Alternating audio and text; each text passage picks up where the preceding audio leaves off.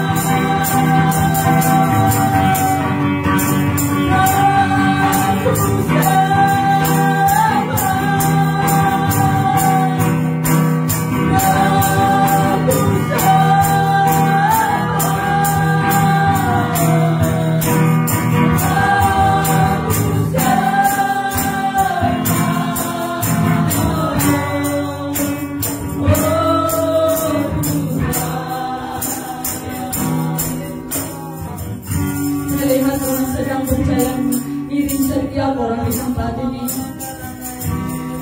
Tuhan ingin bicara di tempat ini. Berikan tangan dari hatimu.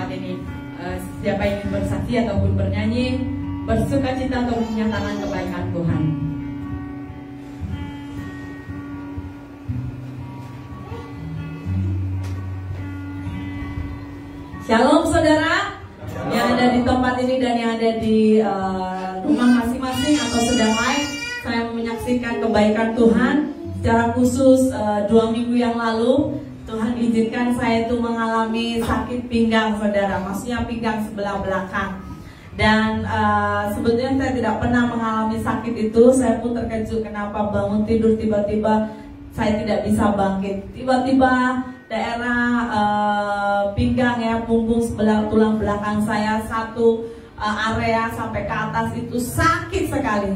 Bergerak sedikit angkat tangan pun sakit.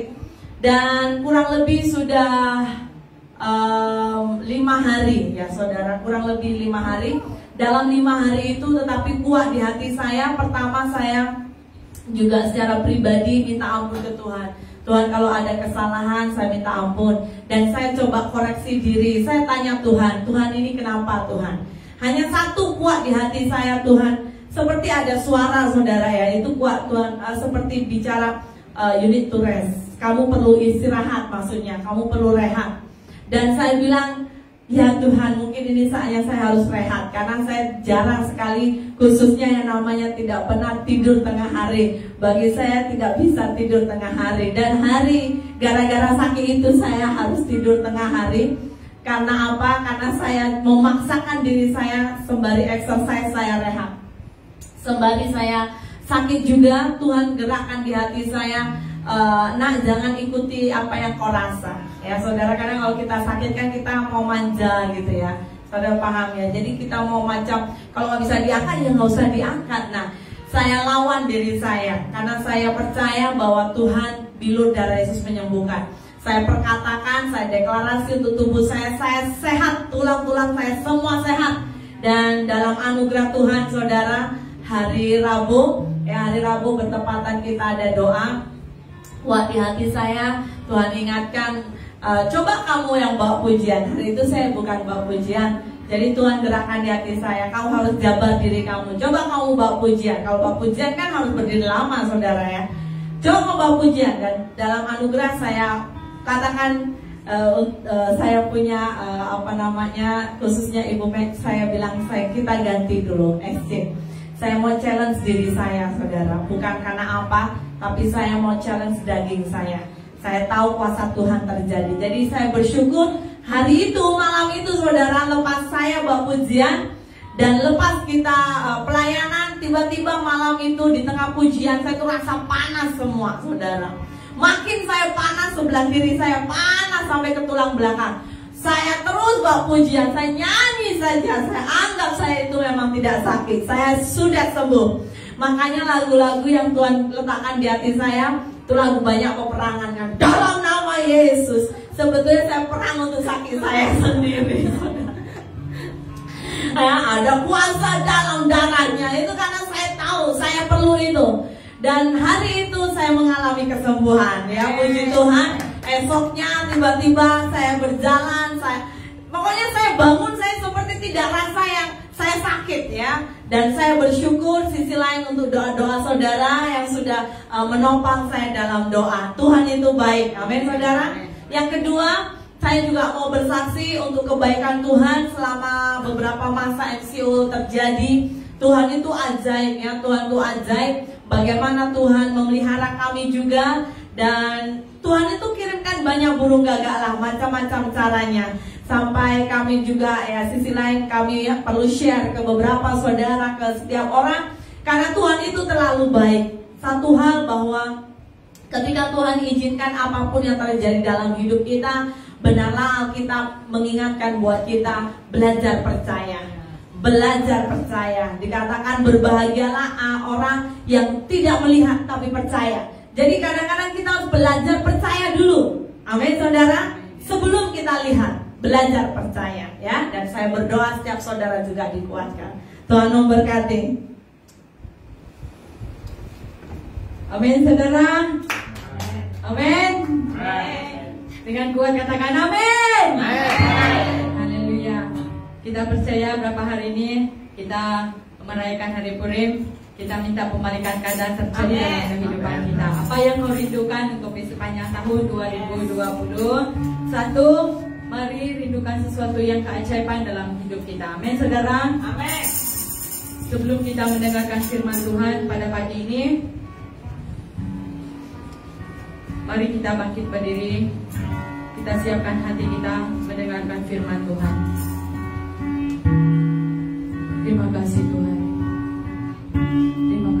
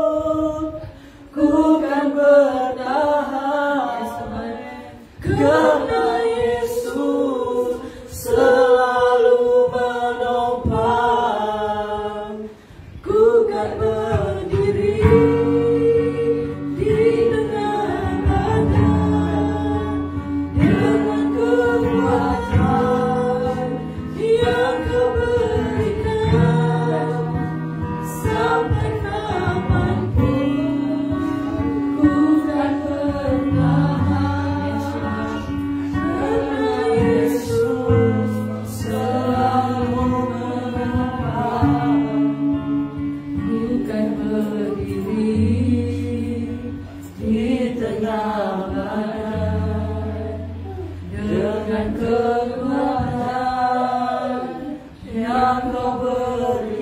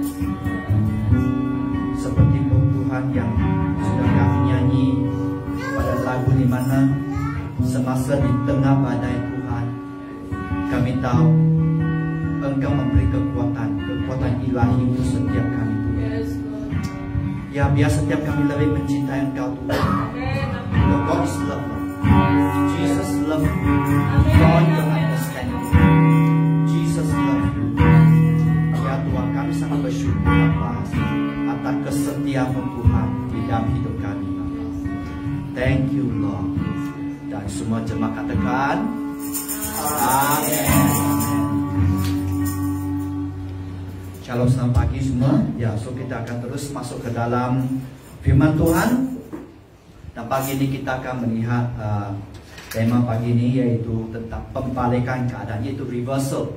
Reversal of circumstances, ya. Reversal of circumstances, pembalikan keadaan. Sebenarnya keadaan bisa dibalikkan semasa kita bisa mengubahkan hati kita kepada balik kepada Tuhan. Itu saja sebenarnya. Pembalikan keadaan tidak mustahil di, di mata Tuhan. Hanya engkau perlu mengubah hati anda. Lebih mengasihi dia, lebih mencintai dia, lebih berserah hidup anda kepada dia. Itu saja sebenarnya. So, uh, mengikut uh, Philip Yancey, seorang penulis Amerika, beliau menyatakan, Faith means believing in advance. Believing in advance. What will only make sense in reverse. Artinya ialah iman berarti percaya. Percaya sebelumnya apa yang hanya masuk akal jika dibaliknya. Maksud apa? Iman berarti sebelum sesuatu masuk akal. Anda sudah mengimani. Contohnya tadi kita menyanyikan di, di tengah badai engkau tetap bisa berpegang kepada Tuhan. Di tengah badai engkau tahu bahawa Tuhan yang memberi kekuatan. Tapi di tengah badai kalau engkau tidak hidup dan tidak fokus kepada Tuhan, engkau bisa tenggelam. Engkau bisa tenggelam. Hidup anda bisa hancur. Hidup anda bisa binasa dan sebagainya. Bahkan kalau anda dan saya tidak berhati-hati, kita bisa berada di lautan api nanti. So mari kita berjaga-jaga di sini. So di sini bicara tentang iman dan iman bukan satu-satu fakta di mana anda bisa um, di, bukan satu-satu fakta di mana anda akan mengalami peng, uh, pembalikan keadaan. Ada berapa faktor ya? Ya, termasuk di mana apakah anda mengubah hati anda, apakah anda berbalik kepada Tuhan dan sebagainya. Dan iman hanya salah satu bagian di mana semasa anda mempunyai iman seperti biji sesawi, anda bisa membalikkan keadaan karena kuasa dari Tuhan. Itu saja sebenarnya. So seterusnya uh, tentang pembalikan keadaan pagi ini saya akan bicara tentang beberapa tokoh di dalam Alkitab. Bagaimana mereka mengalami itu. Dan sebenarnya jika anda saya berharap anda bisa semasa anda mendengar firman bukan setakat mendengar oh itu kisah begitu begitu.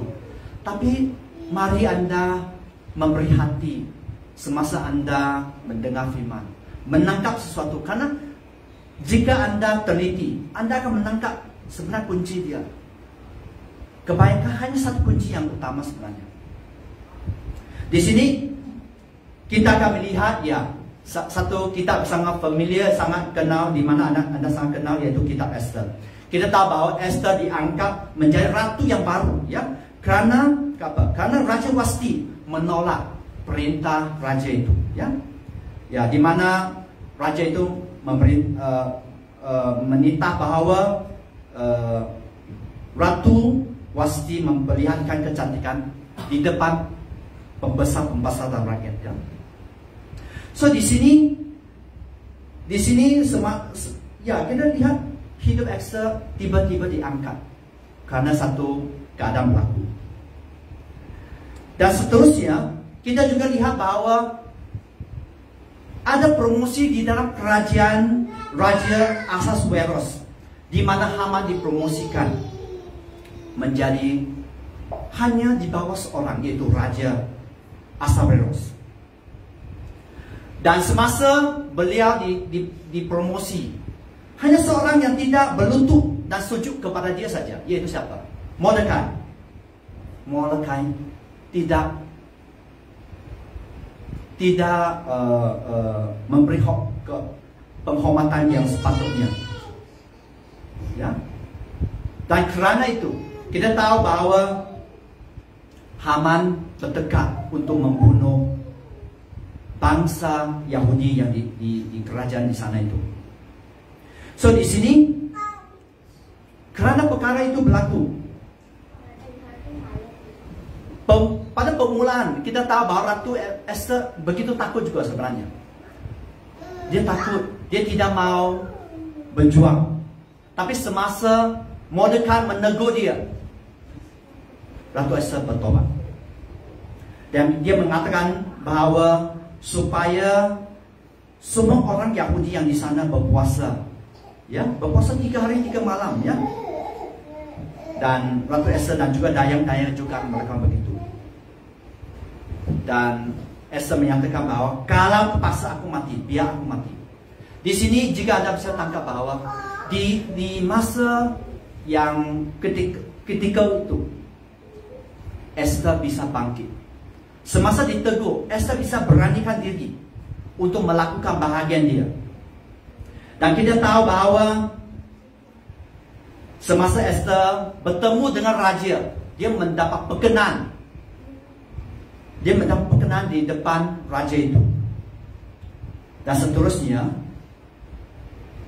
uh, Esther meminta supaya mempunyai satu perjamuan, ya, untuk raja dan juga Haman. So dari situ kita lihat bahawa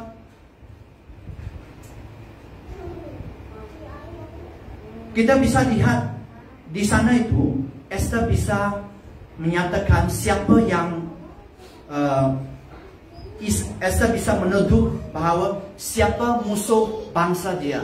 Bagaimana bangsa dia bisa sampai akan dimusnahkan nanti.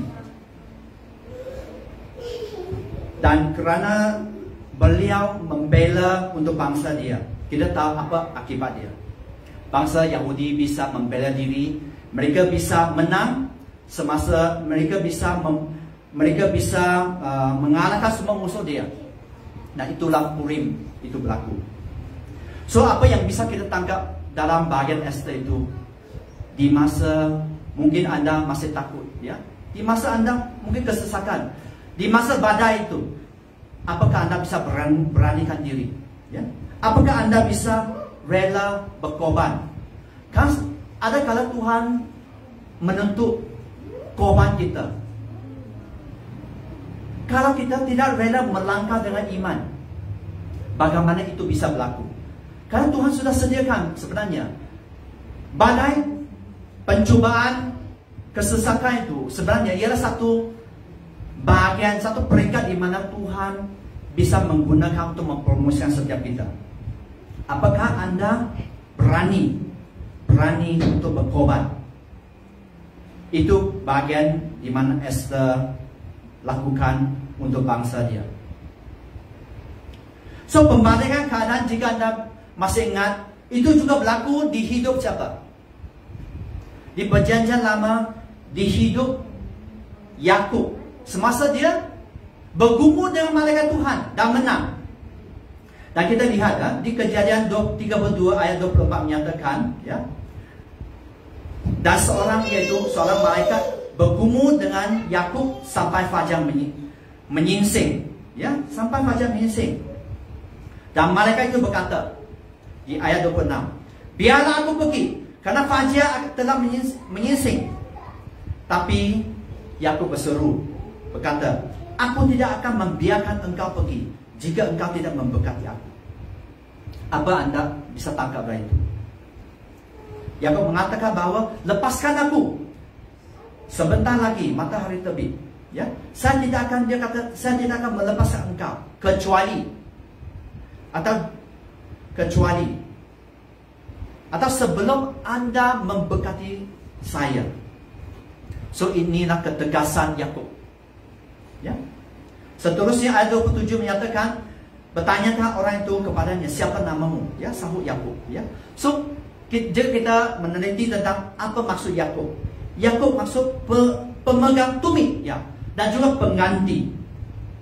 Maksudnya dia akan mengambil alih menggantikan seseorang biasanya contohnya merebut posisi ya, merebut takhta dan sebagainya. Arti yang negatif ya. So di sini kita tahu tentang keadaan Yakub. Itulah sifat Yakub. Orang yang sebenarnya kurang berkenan di depan Tuhan. Tuhan. Tapi ayat 28 malaikat itu berkata bahawa namamu tidak akan disebut lagi Yakub tetapi Israel sebab engkau telah bergumul melawan Allah dan manusia dan engkau menang. Ya. So maksudnya bahawa namamu bukanlah Yakub ya. Engkau sudah bergumul ya dan menang. Kerana itu engkau mencari Israel. Apa maksud Israel? Dari Yakub. Dari pengganti. Dari yang mengambil alih tempat orang. Menjadi Israel maksud pahlawan Allah. Prince of God, putra Tuhan. Seluruh hidup Yakub diubahkan.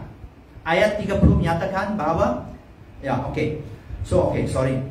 Seterusnya So di sini apa yang bisa kita tangkap bilang hidup Yakub mulai dengan seorang mulai daripada seorang penipu ya. Bahkan pencuri hak keseluruhan Isa abang dia.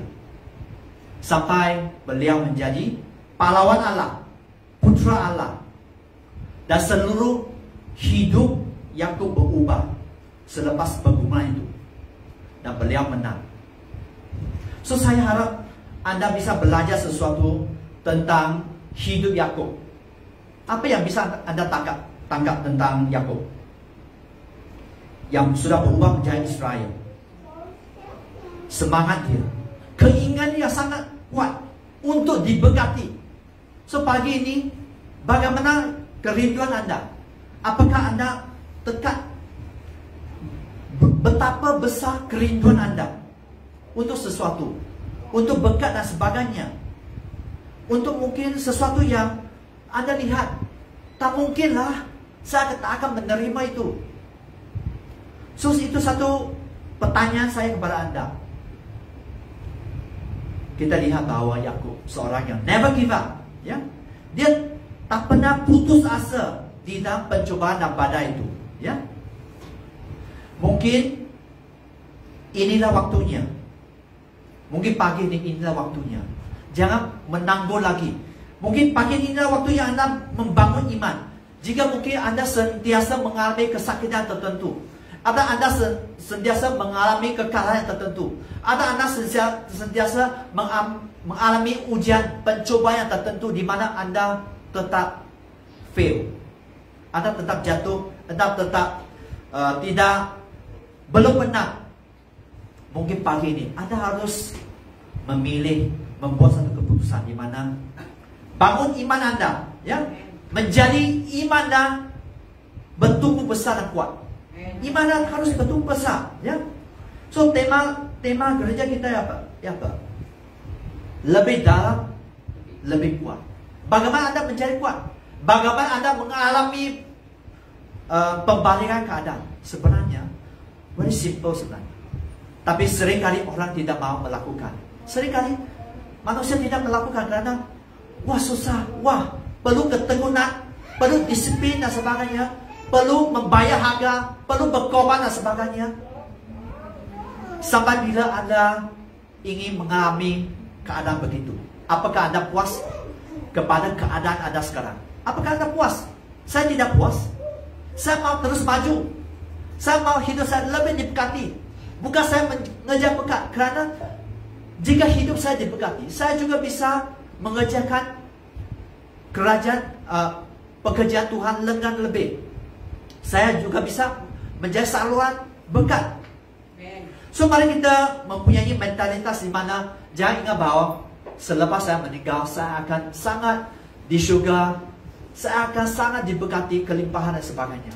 Sebenarnya Tuhan, ya Tuhan menetapkan bahawa semasa kita sudah menang di syurga ya tidak ada tidak ada pencubaan dan sebagainya di syurga tapi kita tetap bisa menang semasa kita di bumi Kita masih tetap bisa menang. Lihat semangat Yakub. Semangat Yakub yang begitu apa? Keinginan yang sangat besar. How passionate, how passionate are you today? Apakah anda rin, sangat rindu? Saya percaya jika seseorang sangat rindu ya.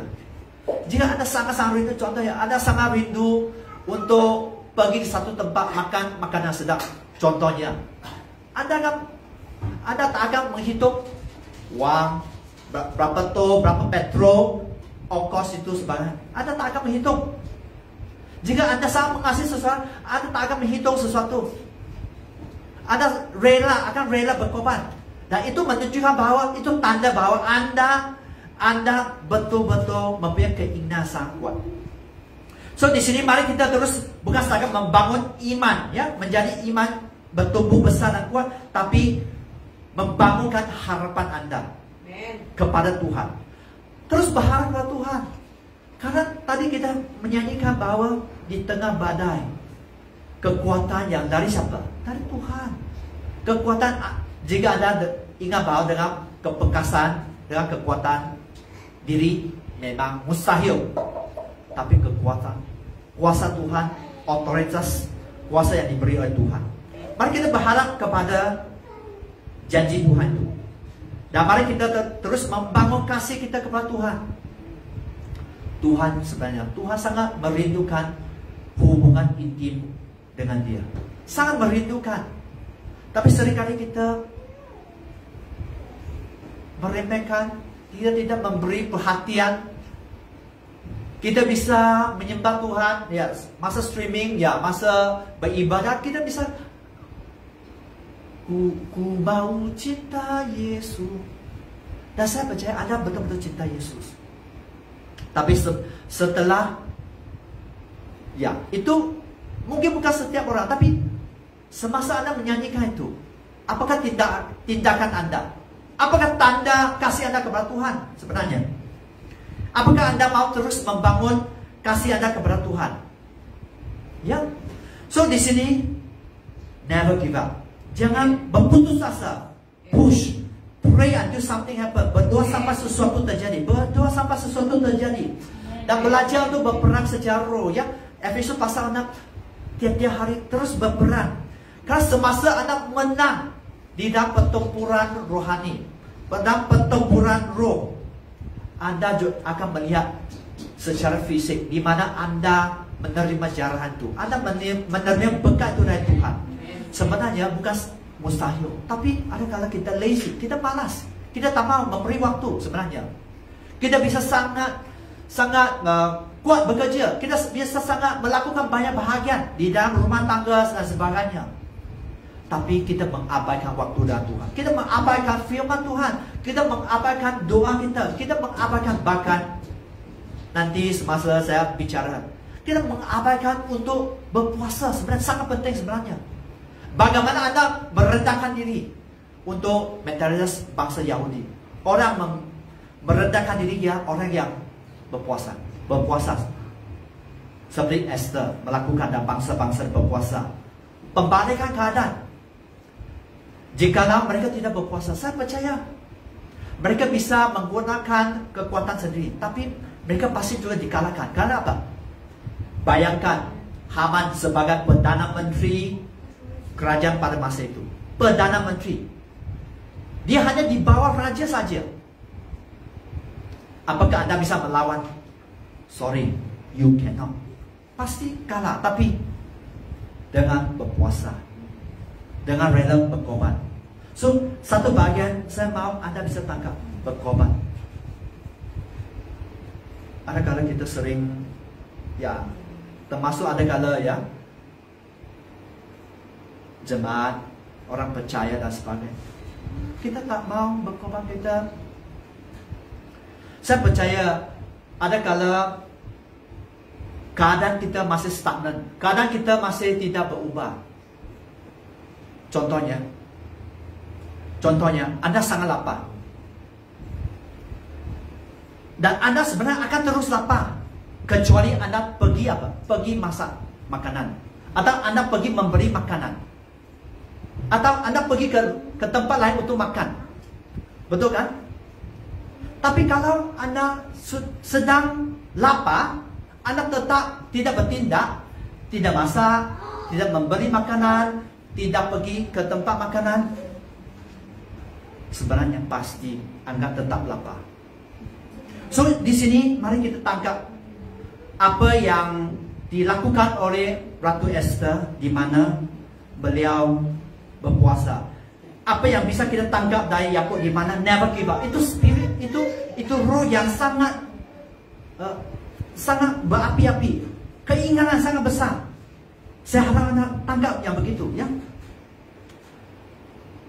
So pagi ini saya percaya seandainya anda masih di keadaan yang belum puas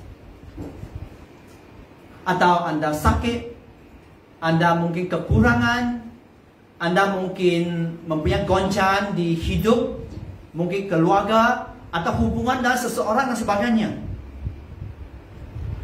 Ada kalau Tuhan sedang melatih anda sebenarnya. Tuhan mengizinkan ingat tentang apa yang berlaku di di Ayub ya, di hidup Ayub. Setiap keadaan yang berlaku mem memerlukan izin dari Tuhan. Iblis melakukan sesuatu, dia perlu izin dari Tuhan. Dan se seandainya Tuhan mengizinkan, mungkin itu sedang Tuhan sedang mendorong anda untuk apa? Sedang melatih anda untuk mengatasi keadaan anda dengan berperang secara roh, ya, berperang spiritual, ya. Dengan secara sederhana, apa apa jenis sport olahraga ya? Contohnya anda bermain bola sepak football dan sebagainya. Seandainya anda selalu di bertahan sepanjang waktu, anda tidak anda tidak menjadi ofensif, anda anda tidak berperang, anda tidak rindu untuk menjalinkan gol, anda sentiasa bertahan defensif. Dan satu kali pasti pasti musuh akan menjalinkan gol. Kenapa? Anda selalu defensif. Masa anda tidak ofensif maksud apa? Anda tidak bisa menang. Maksimum uh, tie. Ya, maksud tidak menang, tidak kalah. Dan apa, apakah itu keadaan yang anda puas? So pagi ini saya mendorong anda uh, mengambil semua alat senjata yang sudah Tuhan bagi untuk hidup anda dan berperang belajar untuk berperang pembalikan keadaan terjadi di hidup Ratu Esther semasa beliau berpuasa. Pembalikan keadaan terjadi di hidup Yakub dari seorang penipu, dari seorang pencuri berkat, dari seorang apa? pengganti ya untuk mengambil alih posisi orang. Hak kesulungan abangnya Isau. Tapi diubah menjadi putra Tuhan, menjadi pahlawan Tuhan. Itu bisa terjadi sebenarnya di hidup Anda dan saya. Ketiga, mari kita lihat tentang peringatan peringatan Tuhan kepada Salomo. Ya, peringat, peringatan uh, Tuhan kepada Salomo di di dua Taurat pasal 7 ayat 11 menyatakan Salomo sedang membangun ya, sedang membangun bait Allah untuk untuk Tuhan masa itu. Dan Tuhan menampakkan kepada Salomo dia menyatakan kepadanya telah di ayat 12 telah ku dengar doamu dan telah ku pilih tempat ini bagiku sebagai rumah persembahan. Dan dan Tuhan juga mengingatkan dia di ayat 13 uh, di, kita sangat familiar kita sangat kenal tentang ayat 14 tapi ayat 13 mari kita lihat apa yang Tuhan bicara kepada Salomo bila manapun aku menutup langit semasa Tuhan menutup berkat. Sehingga tidak ada hujan. Hujan tidak akan terjadi.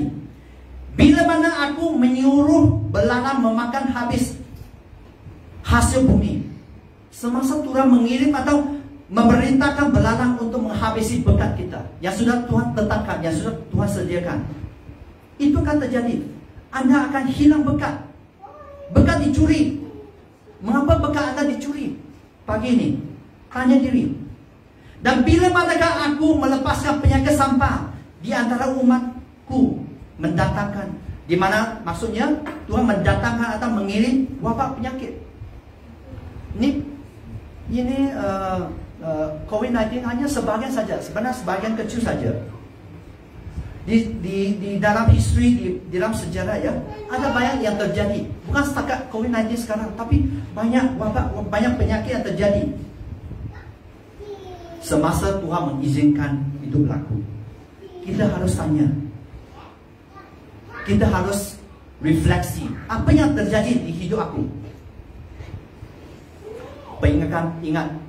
Tuhan mengingatkan Salomo, raja yang amat berhikmat, sangat berhikmat. Di ayat 14 di mana kita sangat kenal. Dan umatku yang atas namaku disebut. Umatku maksud setiap orang percaya, bukan bukan setakat pemimpin, pastor dan sebagainya. Umatku, setiap orang percaya. Merendahkan diri berpuasa sebenarnya. Maksudnya berpuasa Berdoa, kedua berdoa. Apakah anda berdoa sungguh-sungguh berdoa? Mencari wajahku, ya, datang kepada Tuhan, beribadah mencari hadiratku, mencari hadirat Tuhan. Lalu seterusnya, lalu berbalik dari jalan-jalan yang jahat, meninggalkan maksud, meninggalkan perbuatan mereka jahat, bertobat dari jalan yang jahat. Sebenarnya ada kalau kejahatan kita ingat bahawa sesuatu yang contohnya perzinahan, minum dan sebagainya Kesombongan juga satu yang jahat. Semasa kita tidak menuruti kehendak Tuhan, itu sesuatu yang jahat. Sebenarnya, itu sesuatu yang jahat. Di mata Tuhan.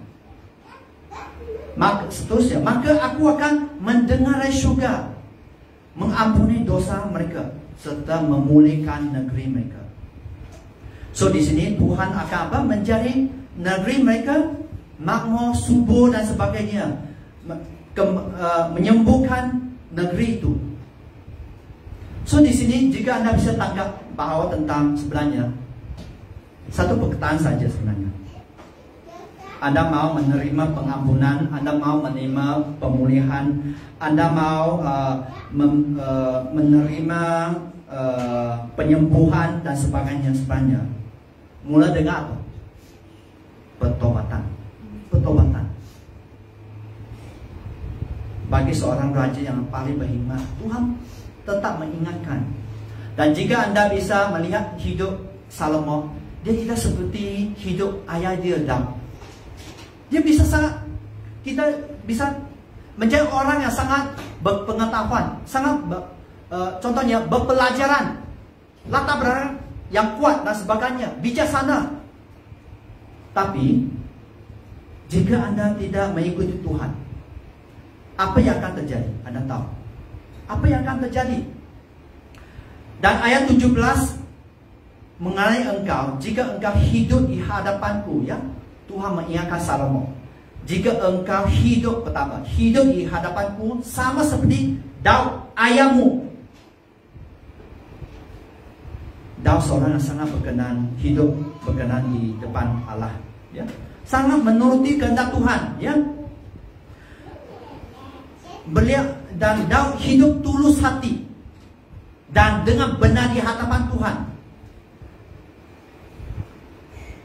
dan seterusnya berbuat sesuai dengan segala yang kuperintahkan kepadamu maksud apa?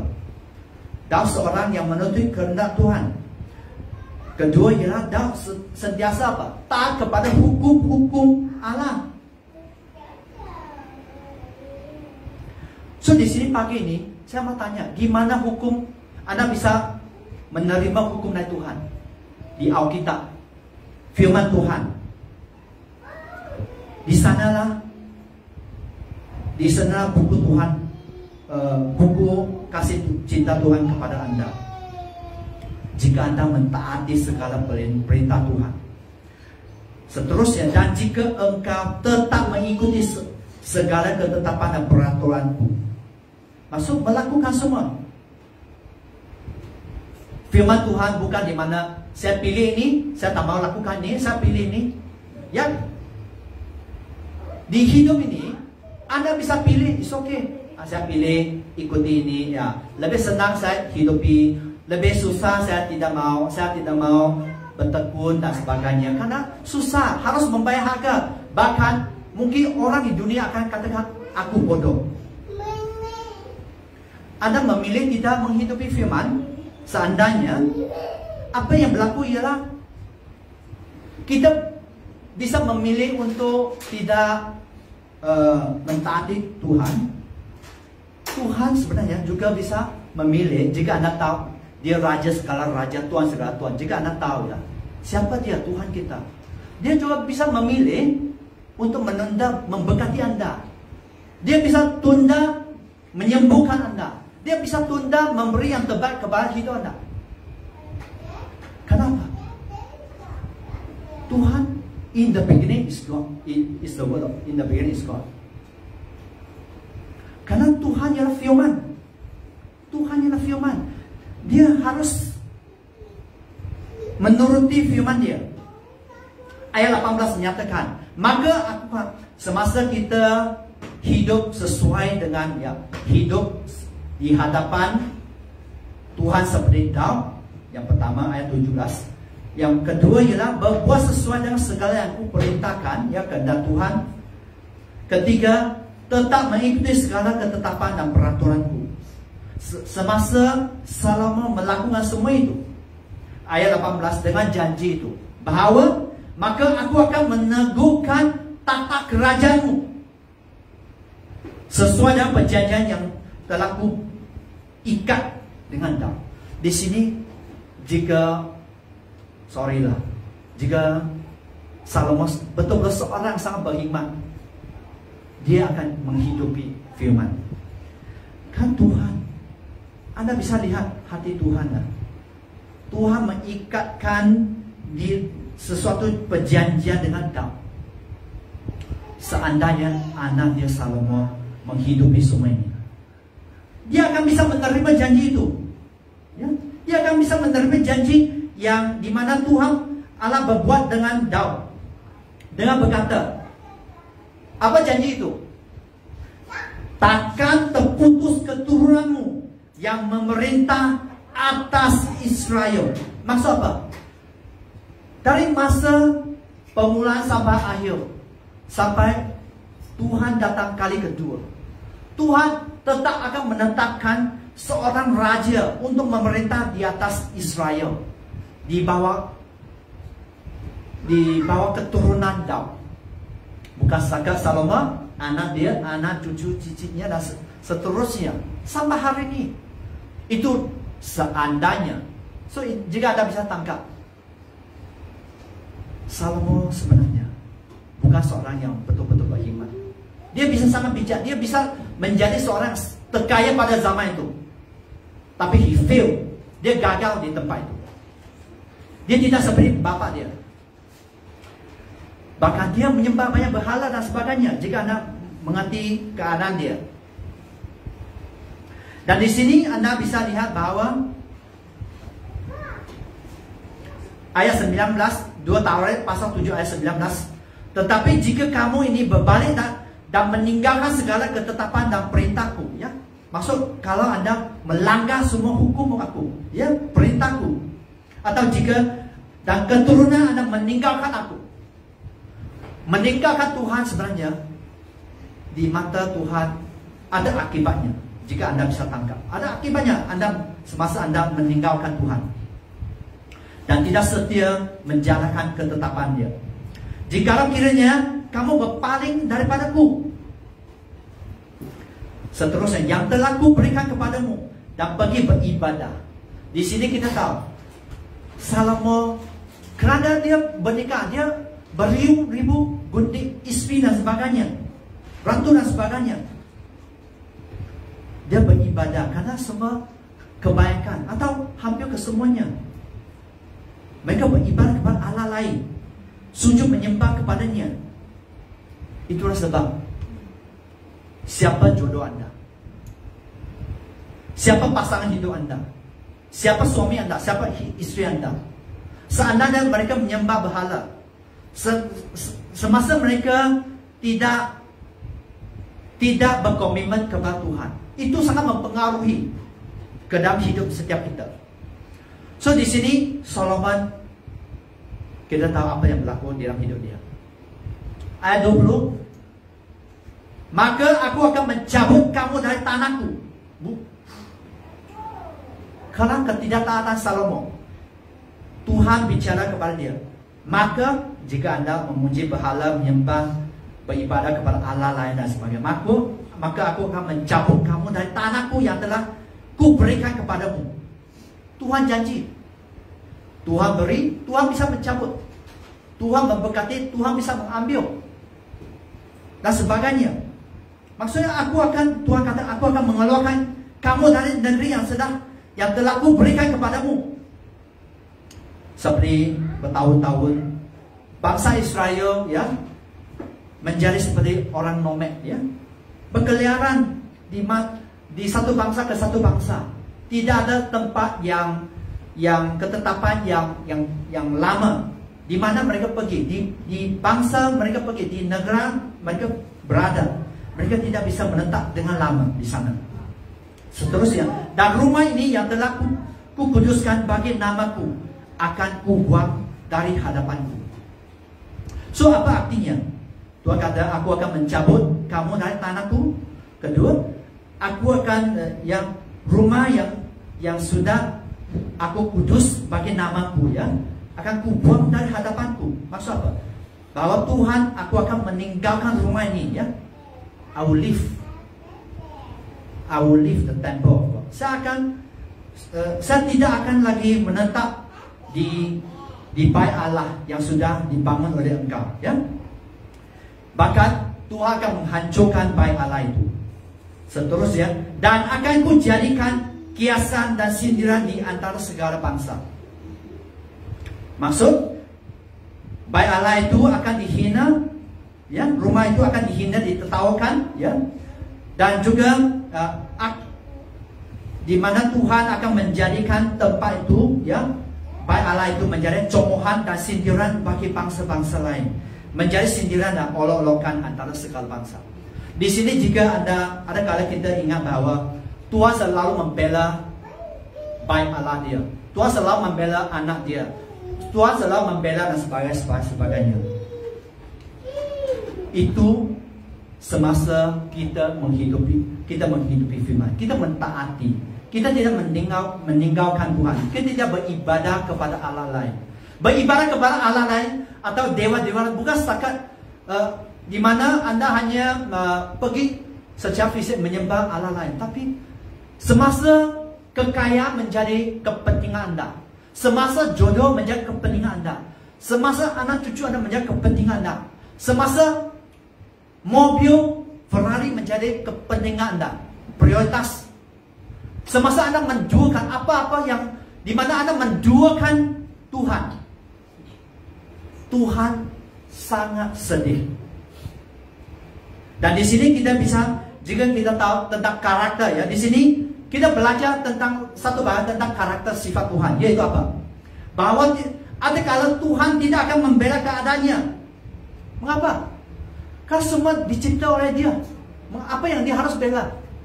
Dia raja segala raja. Sekarang suku, sekarang bangsa tidak menyembah dan it's okay. Dia tetap raja sekarang raja. Tuhan segala Tuhan. Dia tetap di syurga. Dia tetap menetapkan semuanya. Semasa kita uh, meninggalkan Tuhan, sebenarnya rugi sebenarnya. Siapa?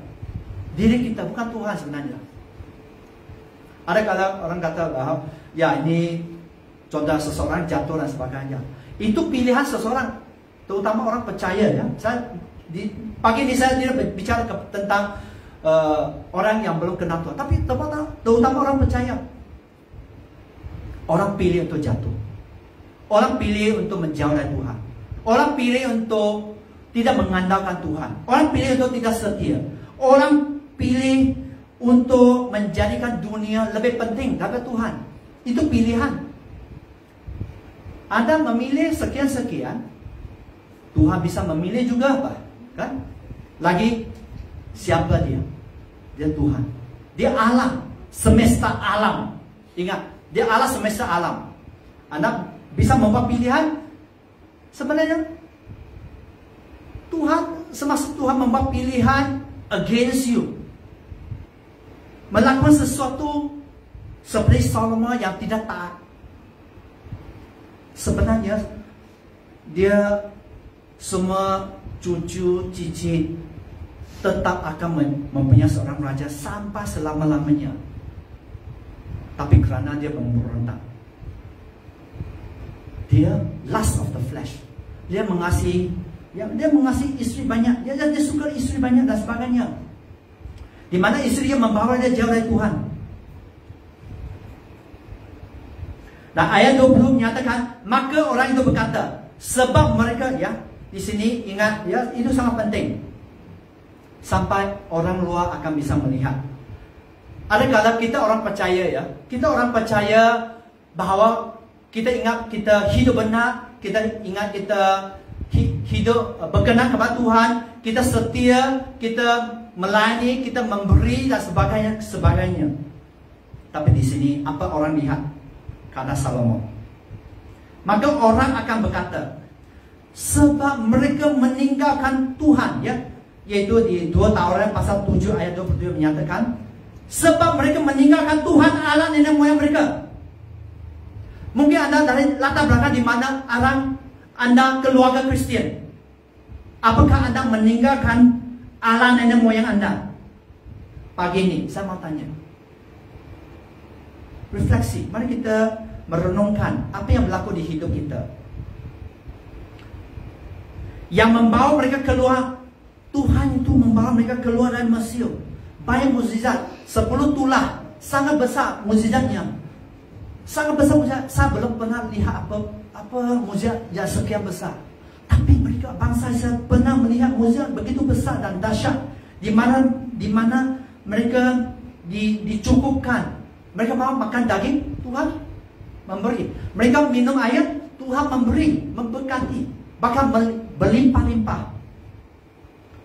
Tuhan yang membawa mereka keluar dari tanah Mesir dan sebab mereka berpegang pada Allah lain dan sujud menyembah kepadanya dan beribadah kepadanya. Maksud mereka menyembah Berjanji setia kepada Allah lain. Mereka menyembah berhala dan sebagainya. Itulah sebab Ia Iaitu Tuhan. Allah mereka. Tuhan mendatangkan segala malapetaka ini ke atas mereka. Maksud apa? Tuhan mendatangkan bencana kepada bangsa Israel. Kerana pemberontakan Kerana stiff necked ya, Kedegilan. Ya mereka bangsa Degil sebenarnya. Sampai hari ini juga Kebanyakan Bukan semua kebanyakan Sebab itu datanglah Allah segala Segala jahat atas mereka. Didatangkan Allah Tuhan yang mendatangkan ingat Tuhan mendatangkan segala kejahatan itu. Itulah sebab didatangkan Allah segala celaka atas mereka. So apakah anda Apakah respon anda kepada Tuhan pagi ini?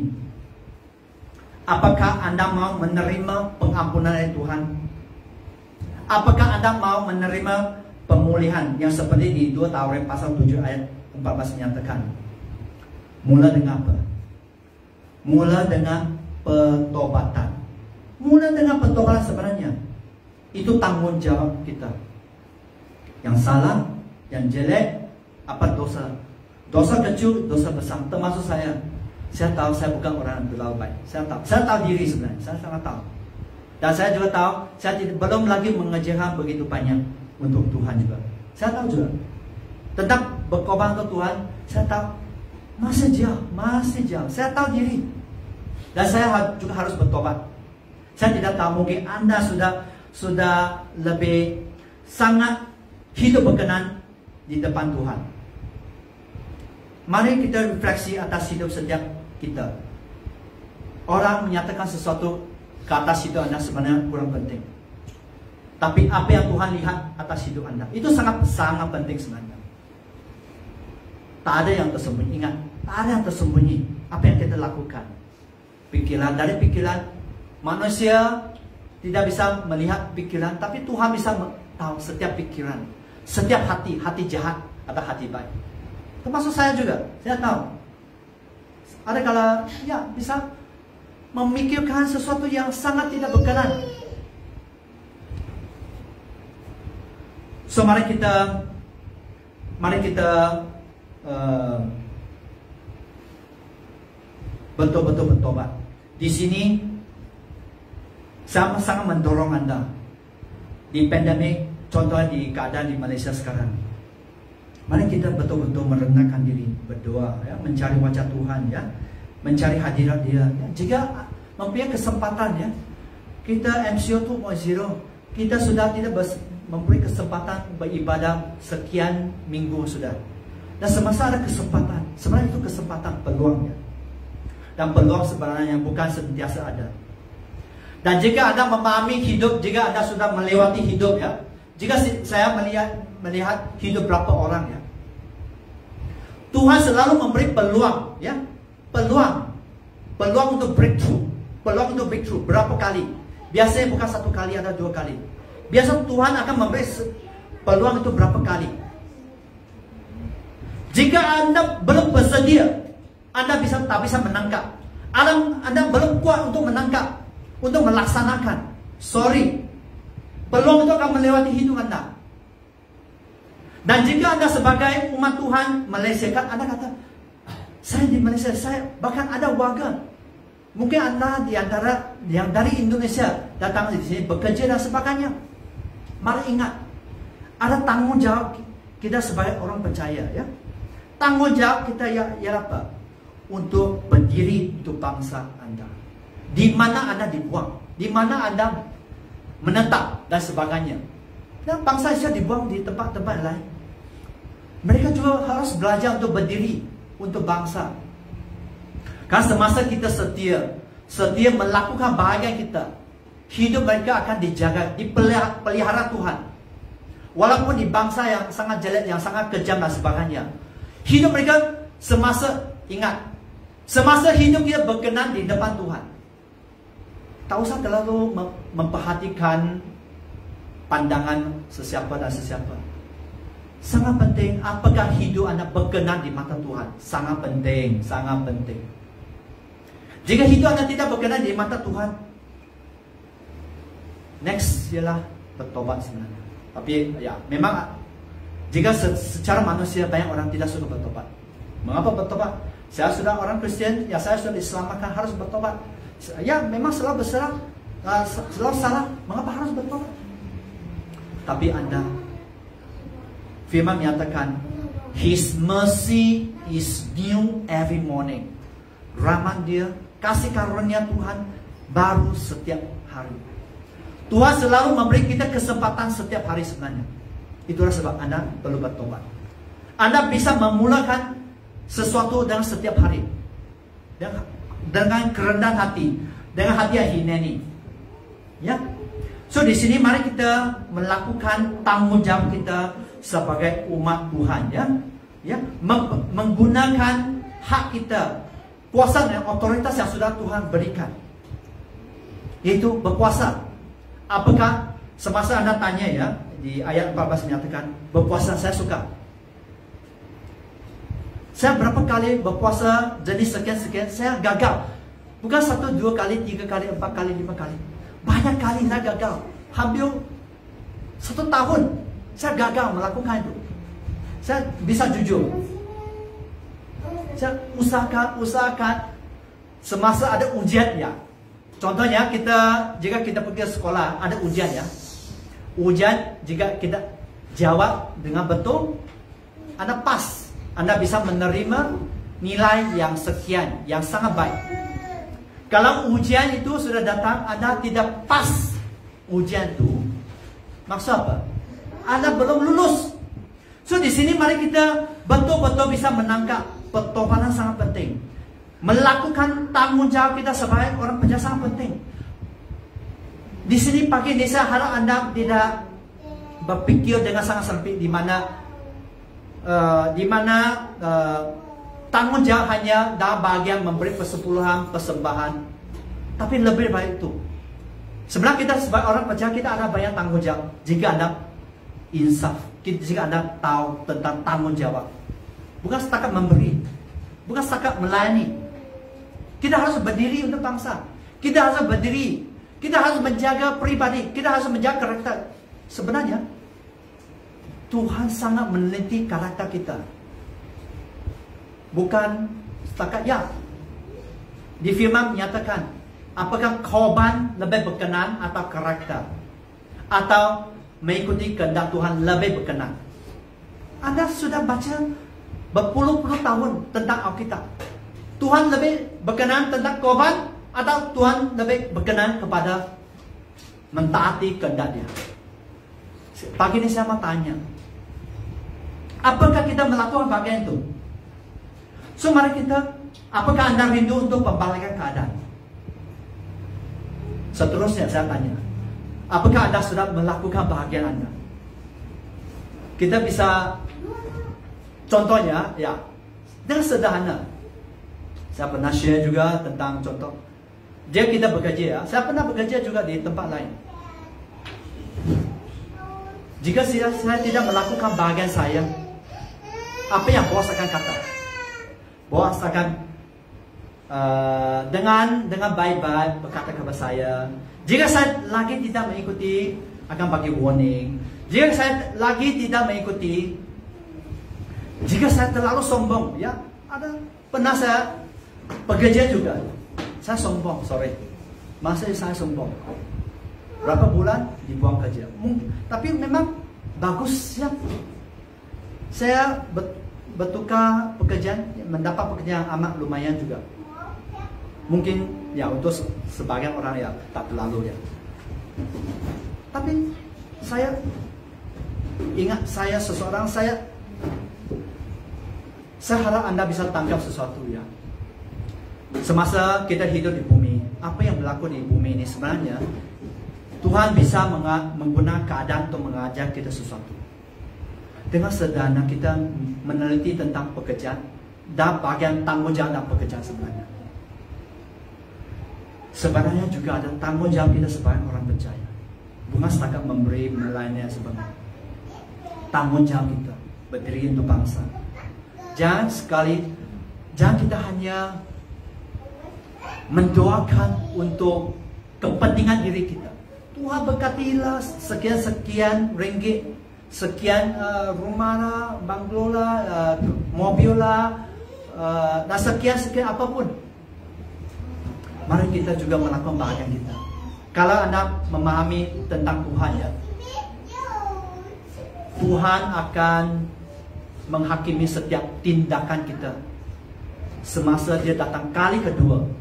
Kita tahu bahwa Tuhan datang kali pertama yang memberi kasih berkorban menanggung semua dosa anda dan saya walaupun dia tidak berdosa. Kali kedua Tuhan datang ialah dia akan menghakimi setiap tindakan kita. Yaitu saya mendorong mari kita termasuk yang streaming mari anda cepat bertobat. Mari anda melakukan bagian anda ya. Apakah anda rindu untuk pembalikan keadaan? Lakukan bagian anda sebenarnya dan bertobat jika anda berdosa kepada Tuhan. Seterusnya, setelah pada tentang Solomon, kita bisa lihat pembalikan keadaan yang berlaku di mana? Kepada bangsa Niniwe. Masih ingat Niniwe? Nabi Yunus diperintah Tuhan untuk berfirman kepada kerajaan Niniwe. Apa yang dilakukan oleh Nabi ya? Ini Nabi ya, jika anda paham Nabi, Nabi Tuhan bisa memberontak. So apalagi anda dan saya, kalau kita tidak menghidupi firman, kalau kita tidak berdisiplin membangun membangun uh, roh kita, ya, roh manusia roh kita. Akhirnya kita tahu bahwa Yunus bertobat atas pemberontakan dia kepada perintah Tuhan dan dan beliau pergi ke Niniwe dan berfirman Yunus pasal 3 ayat 4 menyatakan Mulailah Yusuf masuk ke dalam kota itu. Sehari perjalanan jalan jauhnya. Lalu berseru. Lalu dia berseru ya Yunus berseru. 40 hari lagi 40 hari lagi Niniwi akan ditunggang balikan Niniwi akan binasa. Lihat apa yang berlaku Kepada orang Niniwi. Saya harap anda bisa Kita orang percaya Kita belajar di di Alkitab. Ada kita sangat senang meremehkan, sangat lalai. Saya ingat grace yang memang Roh Kudus penuh dengan kasih karunia grace of God, rahmat Tuhan, mercy of God sangat besar. Tapi mari kita juga belajar setiap di dalam hidup ada keseimbangan. Kita harus pahami ada keseimbangan. There's a grace of God given to you. Tuhan memberikan sekali kepada anda. Tapi ada juga bagian di mana anda harus melakukan. Kita belajar dari orang Niniwe, di mana ayat 5 menyatakan orang Niniwe percaya kepada Allah. Wow. Apakah anda percaya kepada Allah pagi ini? Yang streaming, apakah anda percaya kepada Allah? Lalu mereka, semasa mereka percaya kepada Allah, apa yang dilakukan mereka?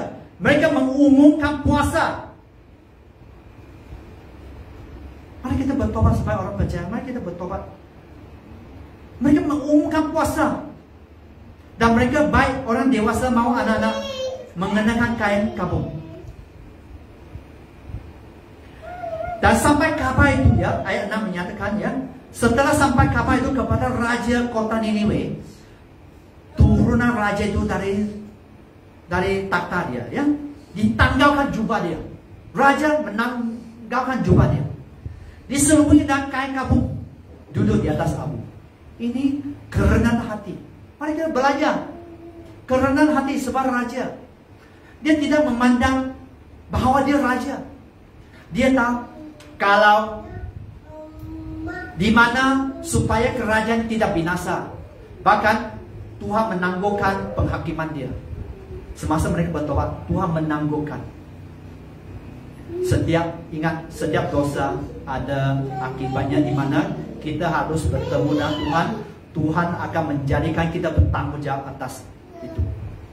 Masa itu dosa itu belum penuh. Ayat 7 menyatakan Lalu atas perintah raja dan para pembesarnya Orang memalukan dan mengatakan di Niniwe demikian Manusia Semua binatang Semua binatang Kambing domba sebagainya. Tidak bisa makan apa-apa. Tidak bisa minum apa-apa. Ayat 8 Haruslah semuanya Manusia dan ternak Berselubung kain kabung Bersuruh dengan keras kepada Allah. So pagi ini Apakah anda bisa merendahkan diri Hati anda? Apakah anda bersuruh keras kepada Tuhan? Allah anda Yang begitu dekat sebenarnya Begitu dekat Ini bangsa yang tidak kenal Tuhan Mereka Mempunyai hikmat di mana mereka tahu judgment is coming. Penghakiman akan datang kalau mereka tidak bertobat. Seterusnya, serta haruslah masing-masing berbalik dan tingkah lakunya jahat dan dari kekerasan dilakukan. Ini tanda orang bertobat. Ya. Bangsa ini sangat, sorry sangat-sangat bisa belajar sorry. Ada kala kita supaya orang percaya kita sangat meremehkan pertobatan. Bahkan kita membenarkan dosa kita. Pertobatan mempunyai tanda. Ingat, mempunyai tanda Anda harus melakukan sesuatu sebagai tanda Anda bertobat. Mungkin bukan di depan manusia, tapi di rumah Anda, di bilik Anda dan sebagainya, Anda harus bertobat. Kalau Anda mau pembalikan keadaan, if you want reversal of your circumstances, apa yang anda rindukan dan sebagainya. Ayat 9 menyatakan, siapa tahu mungkin, mereka kata, siapakah mungkin Allah akan berbalik menyesal dan berpaling dari mukanya. Mereka tahu, Tuhan marah. Apakah anda sadar Tuhan bisa marah? Tuhan bisa muka? Yang bernyanyi itu, sehingga kita tidak binasa. Pentobatan itu, maksudnya bertobat. Anda tahu apa yang berlaku? Anda tahu apa yang sudah berlaku? Ketika Allah melihat perbuatan mereka ini, ingat ayat 10 ya. Yunus pasal 3 ayat 10 menyatakan, ketika Allah melihat perbuatan mereka, yaitu bangsa Niniwe, raja dan ternak, semuanya, yakni bagaimana mereka berbalik dan tingkah laku yang jahat, maka menyesallah Allah kepada kerana malam petaka yang telah dirancangkan. Eh, kalau anda ingat bahawa Tuhan hanya merancangkan berkat saja, Tuhan bisa merancangkan penghakiman, malapetaka, bencana dan sebagainya. Kalau anda memahami firman Tuhan, kebenaran firman. Tuhan menyesal. Tuhan tidak melakukan itu. Ditangguh. Tidak jadi melakukannya Tuhan. Ayat 4, 11 menyatakan. So di sini Nabi Yunus berdebat dengan Allah dia. Mengapa? Karena mereka sangat karena Yunus sangat tahu bahawa semasa seseorang bertobat. Ini, ini Nabi, ini orang yang sangat peka kepada Tuhan. Ini Nabi, dia sangat tahu. Pertobatan biasanya akan membawa pemulihan. Itu biasa. General Tidak bertobat, kita siap-siap terima penghakiman. Disiplin dari Tuhan. So di sini kita bisa lihat bahawa bagaimana aku ya Tuhan mengatakan Tuhan mengatakan ayat 11 bagaimana tidak aku akan sayang kepada Niniwe kota yang besar itu yang berpenduduk lebih dapat 120 ribu orang yang semuanya tidak tahu membedakan tangan kanan dari tangan kiri dengan tenangnya yang banyak versi bahasa CV ya bahasa Inggris menyatakan dia menjelaskan di kota Nineveh itu ada lebih daripada 120 20 ribu orang yang tidak dapat apa? Tidak dapat membedakan yang benar dari yang salah.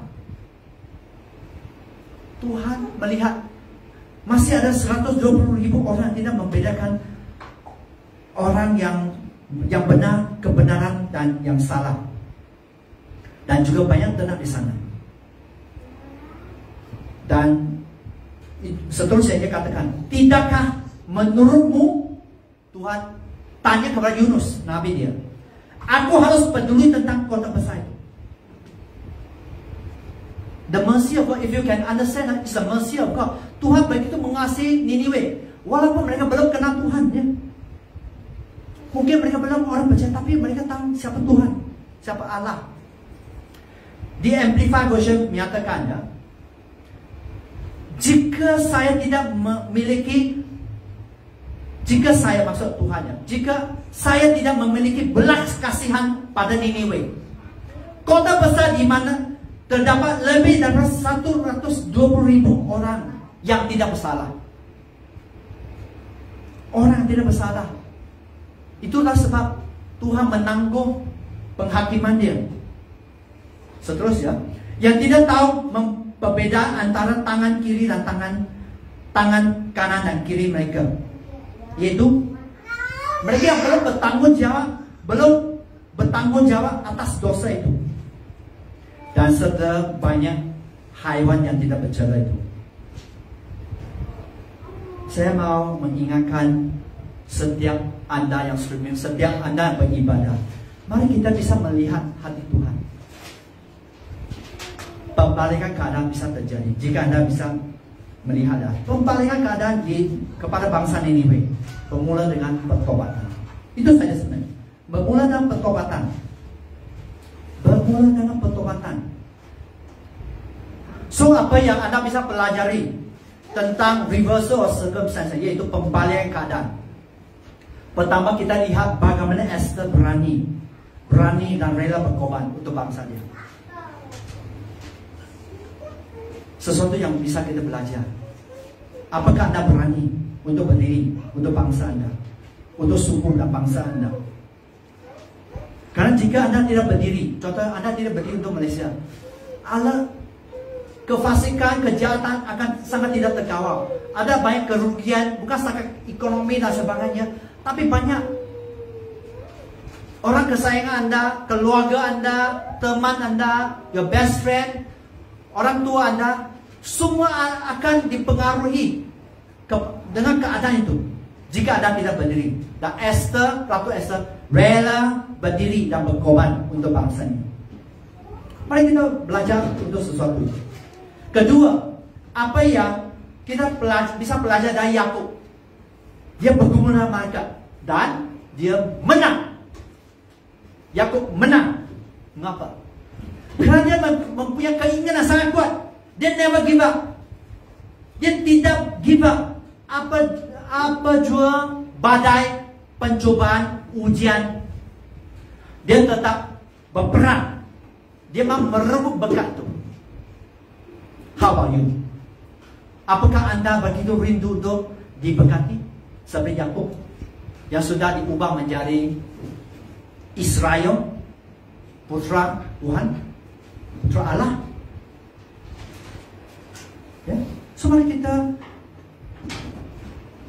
mempunyai kerinduan, keinginan seperti Yakub, ya, untuk bergumul, bergumul bukan dengan kekuatan anda, bergumul dan kuasa Tuhan.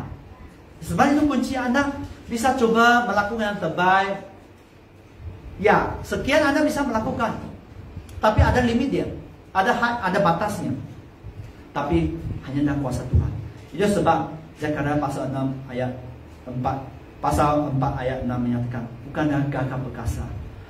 Bahkan bukan dengan kekuatan militer anda Dan mungkin anda mempunyai banyak kekayaan Banyak banyak anak buah dan sebagainya Banyak ya ya dan apapun Tapi ingat bukan dengan kekuatan anda Apa kekuatan yang anda memiliki Tapi bukan dengan kekuatan anda Tapi dengan kuasa Tuhan Anda bisa bergumul seperti Yakub dan tetap menang. Tetap menang. Seterusnya, pembalakan keadaan apa yang kita bisa pelajari dari Salomo? Apa yang kita bisa pelajari Salomo? Pertobatan Pemulihan bangsa bermula dengan pertobatan. Pertama, Esa berani. Bagaimana dia bisa berani? Dia bertobat. Sebenarnya dia mula takut-takut juga. Dia bertobat. Esa bertobat. Dan baru dia bisa berani untuk bertobat. Rela bertobat. Yakub, mari kita tangkap tentang keinginan dia sangat kuat. Keinginan Yakub sangat kuat untuk diberkati. He never give up. Keempat, ya, yang ketiga, sorry, ya.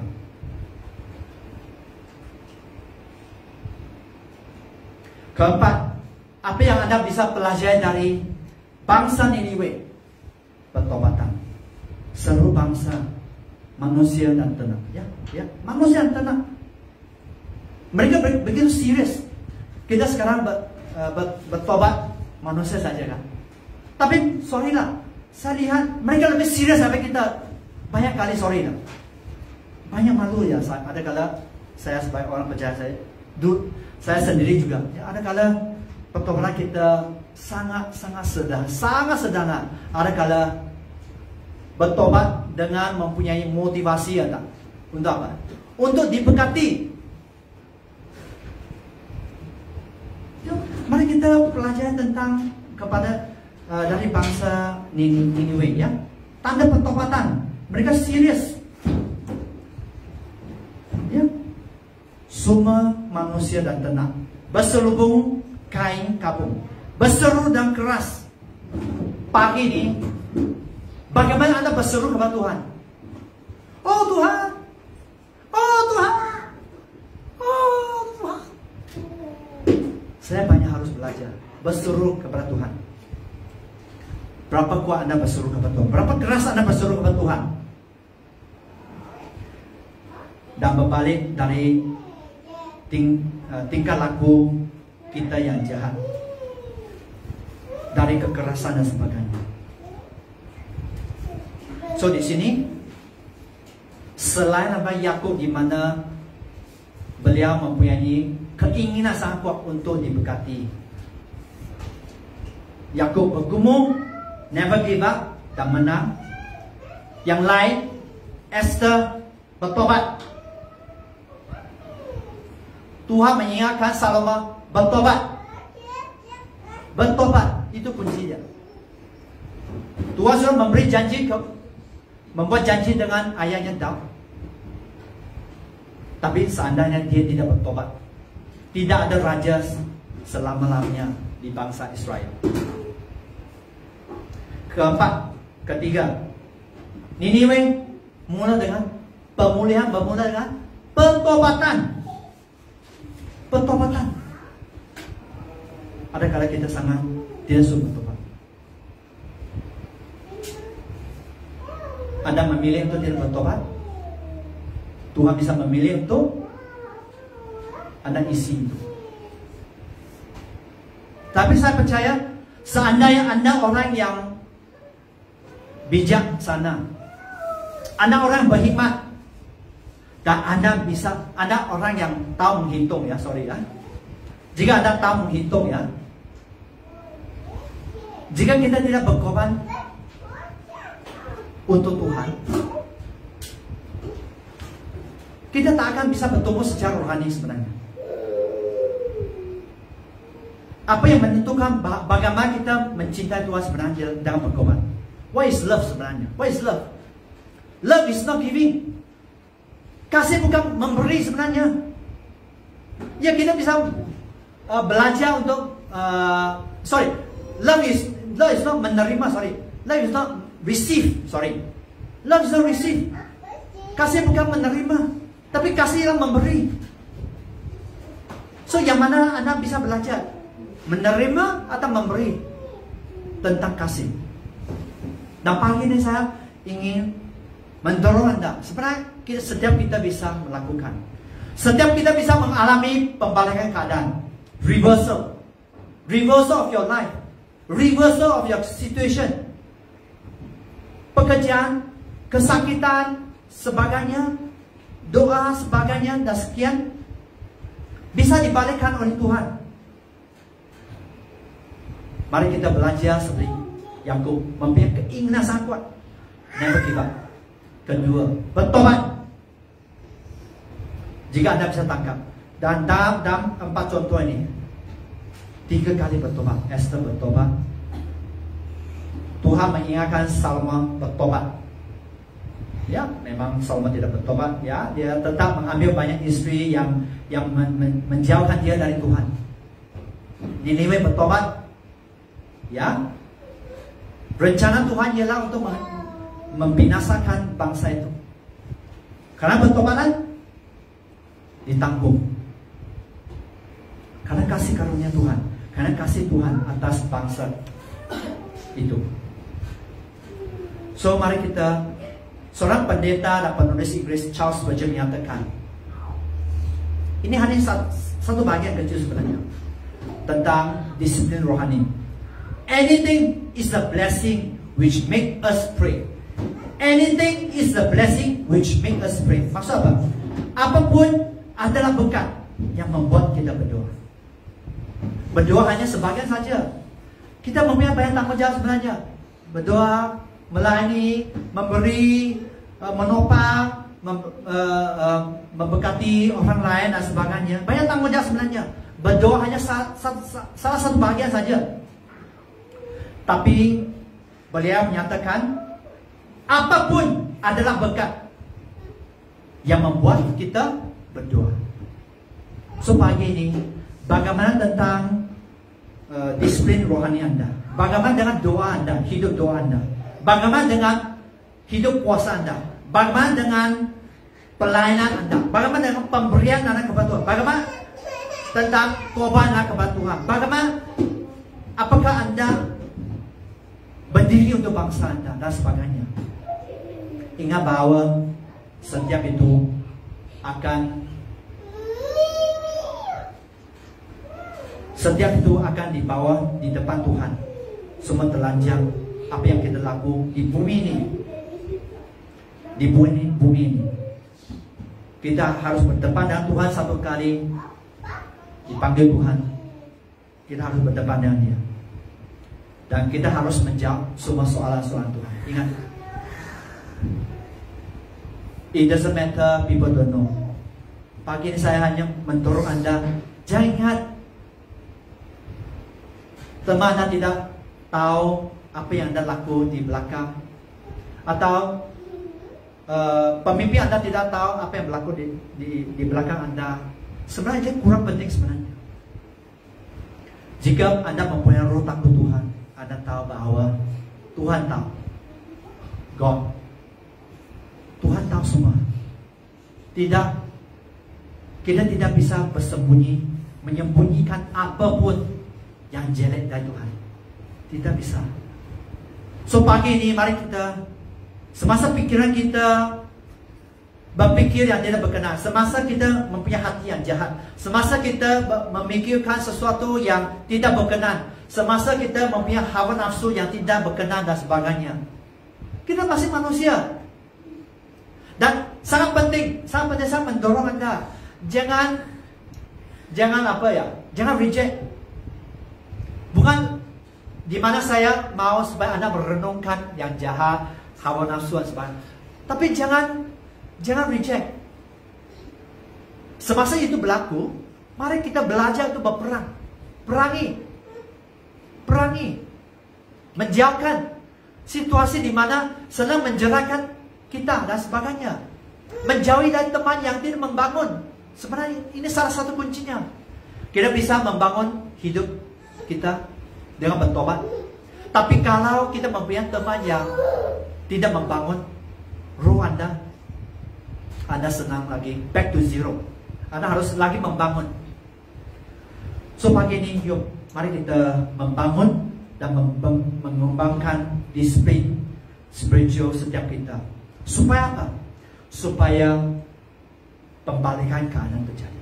Reversal of your situation. Kau kan reverse. Tuhan bisa membalikkan semua keadaan. Tuhan bisa memberkati. Tuhan bisa menyembuhkan. Tuhan bisa menjawab doa Anda. Tapi mari kita tetap bangkit dan membangun, mengembangkan disiplin rohani kita. So, uh, mari kita berdoa ya. Mari kita berdoa. Ya Tuhan, hamba sudah sampaikan firman ini. Biar Engkau sempurnakan semua firman yang disampaikan Tuhan Jamaah setiap mereka yang mendengar Biar mereka bisa mendekat Untuk memiliki hidup seperti Yakub Yang mempunyai keinginan yang sangat besar Dan tidak never give up. Dan juga mari setiap mereka juga belajar untuk cepat bertobat. Bertobat. Pertobatan itu akan menjamah hati Tuhan. Untuk membalikkan keadaan setiap anda. Tuhan bisa membalikkan anda keadaan anda dan sebagainya Tuhan. Ya Tuhan, biar setiap mereka bisa menangkap kunci firman anda. Menangkap rema Tuhan, eh, menangkap rema firman yang dari Tuhan. Dan terus melakukannya, menghidupi firman Tuhan. Di dalam nama Yesus. Semua orang katakan, Amin.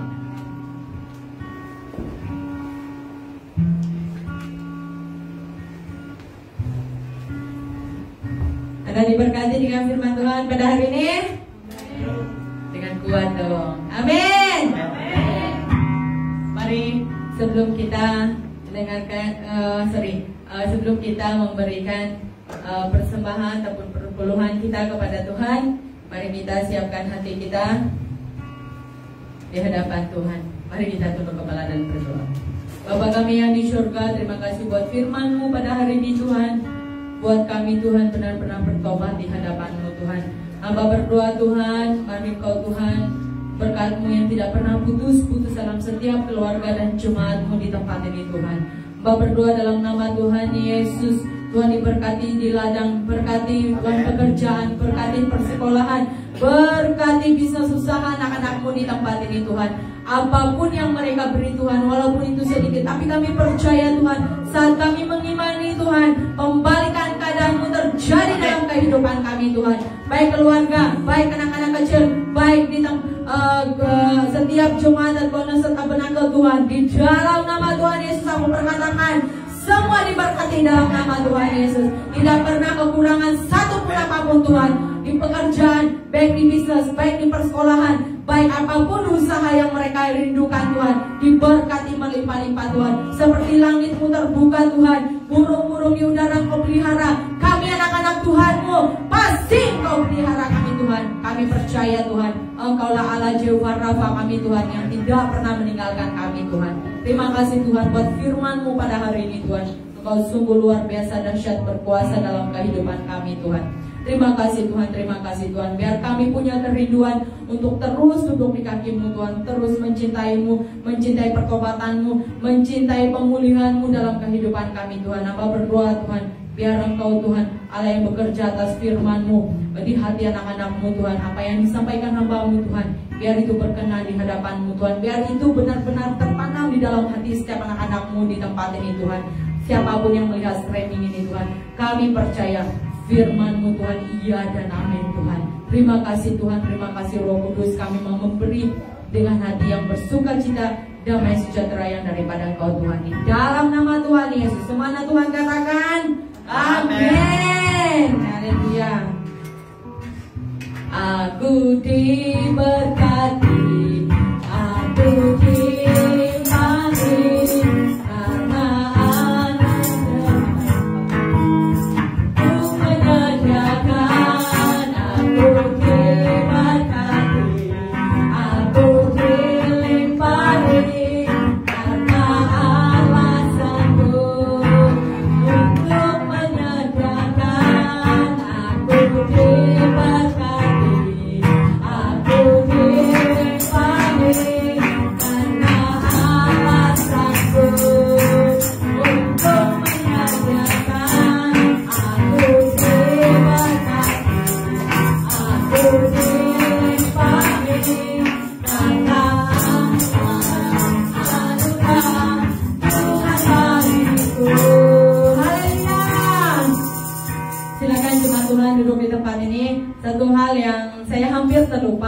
tadi se- sebenarnya diingatkan Tuhan.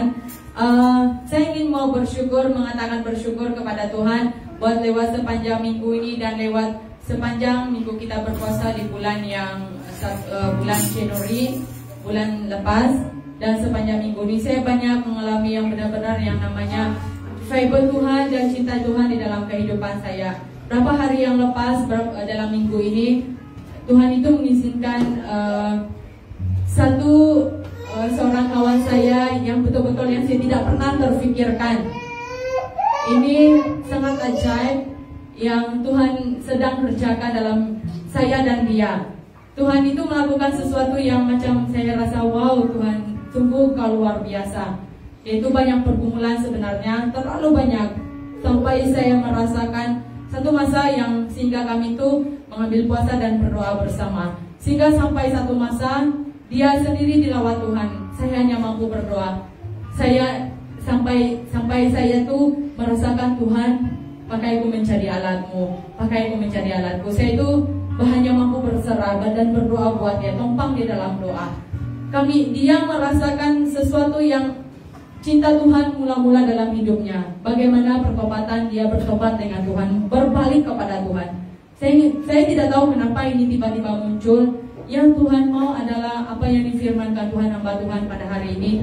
Mari kita bertobat dengan Tuhan. Mungkin dia jalan lamamu itu engkau rasa terlalu macam eh, apa nama itu punya masalah, punya apa pun yang kau alami. Mungkin selama ini seperti apa yang saya bagi tahu tadi, seperti kapal kita itu tenggelam. Tetapi percayalah, seperti Petrus, dia saat dia melihat, matanya melihat menuju ke Tuhan, dia bilang apa ke Tuhan? Tuhan aku percaya kepadamu. Saat kita percaya dengan Tuhan, saat kita merasa tidak mampu untuk melakukan semuanya, percayalah Tuhan sedang memegang tanganku. Ayo anakku, berjalan bersama denganku. Seperti itulah kawan saya. Saat dia berbalik kepada Tuhan, tanpa dia sadari sebenarnya semua masalah yang dilewati selama ini, apa yang dilalui, kerisauan rumah tangga, anak-anak yang selalu me- macam menggurisi hati dia di tahun ini, di tahun ini Tuhan itu mencoba membuka mata, celikan mata rohani dia. Sebenarnya dia terlalu rapat dengan saya. Saya tidak tahu apa keinginan dia sebenarnya.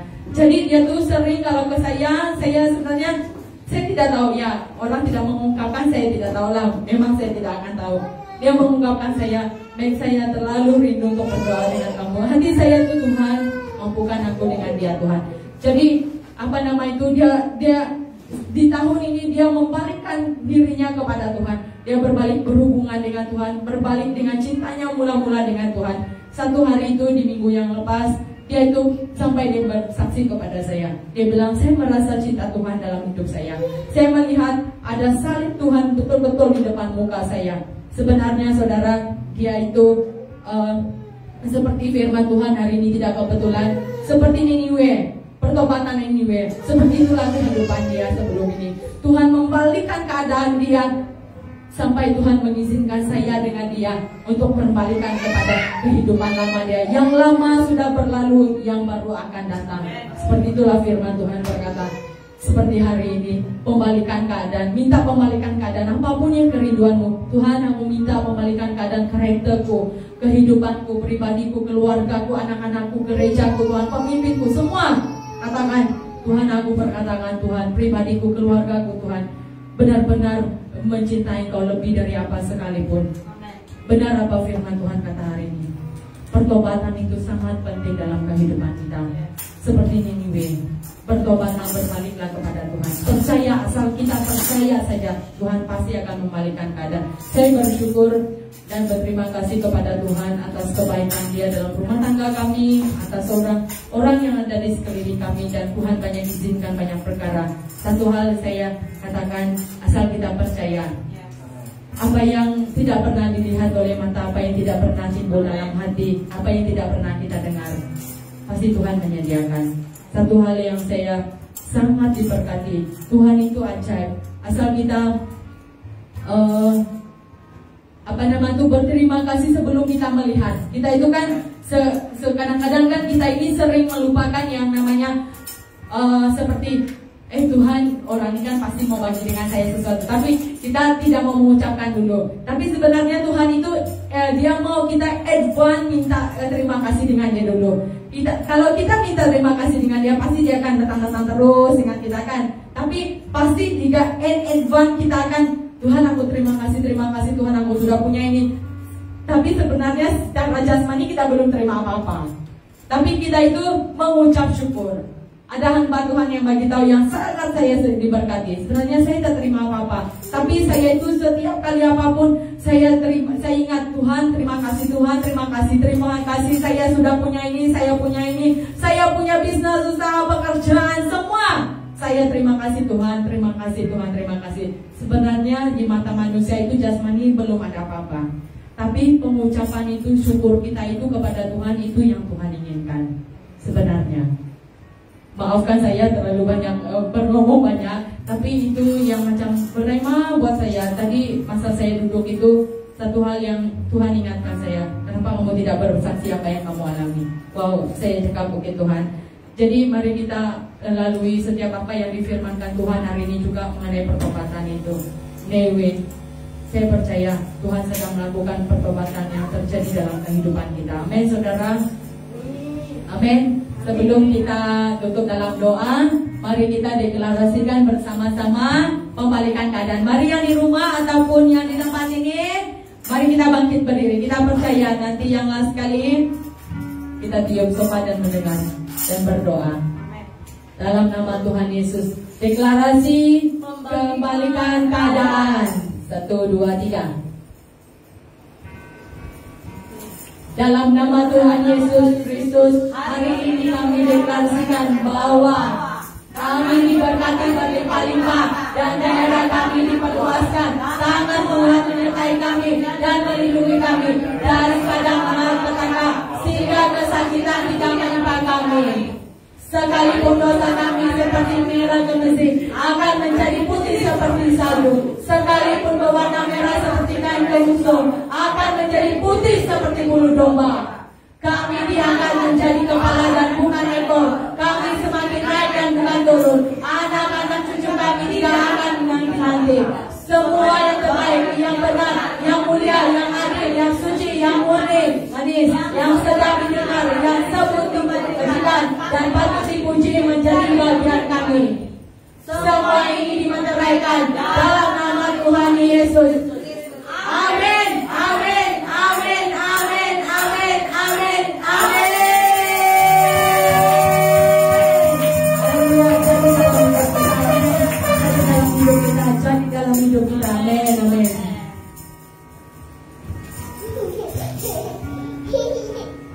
Ya Tuhan itu baik, amin saudara. Siapa yang pulang sebentar lagi pulang, saudara percaya, terimalah.